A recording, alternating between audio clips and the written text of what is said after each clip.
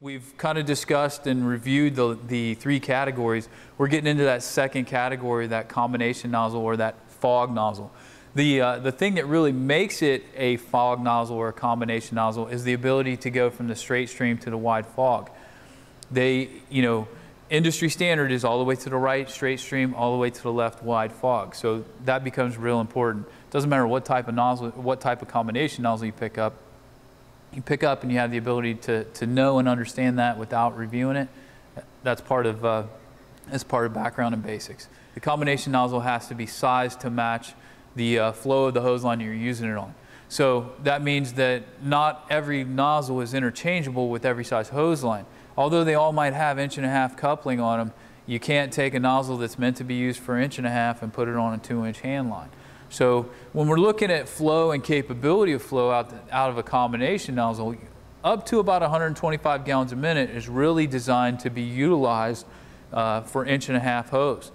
Up to about 200 gallons, 225 gallons a minute roughly uh, is going to be used or, or has the capability of being used on inch and three quarter hose. And then once we go to two inch and two and a half, obviously our flows are going to increase. Two inch, potentially up to 275 gallons, 300 gallons a minute. And once we go with the two and a half inch combination nozzle, you're looking at flows potentially over 300 gallons a minute. So generally speaking, these nozzles, the combination nozzle operates at one of three pressures. It's either uh, 100 pounds nozzle operating pressure, 75 pounds nozzle operating pressure, or uh, some of some manufacturers have a emergency or low pressure operation that usually is either a 50 or 60 pound operation.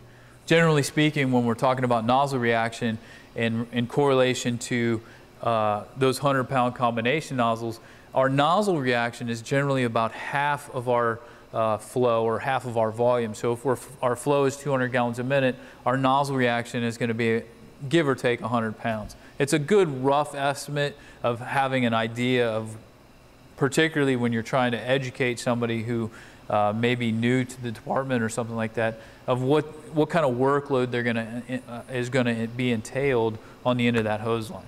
when we start talking about the types of combination nozzles, it's pretty wide and varied. But once again, I'll, I'll reference IFSTA and say IFSTA classifies three major types of combination nozzles that are being produced and out on the market. The first is a selectable gallonage nozzle.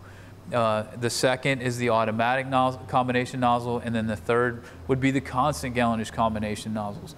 They, all the manufacturers offer all three types. They all, they all manufacture them, and they, they offer those types in a wide array of application and customization features. I mean, when you start looking at the capability, we have colored everything from colored handles to colored bumpers to colored bales to, to uh, make identification easier for, for whatever you might use it on. Lighter weight materials and, materials engineering to help reduce the overall workload of the hose team. And they offer them obviously in various flow options. You know, one of the things that you might consider doing is, is getting with your local representative, your local manufacturer, and asking them, are there new technologies as, as it correlates or relates to nozzles out there that, that will give us higher flow, lower overall back pressure, give us the capability to reduce the workload of the nozzle team uh, and, and increase the efficiency of what we're doing on, our, on the street with our first in engine company operations?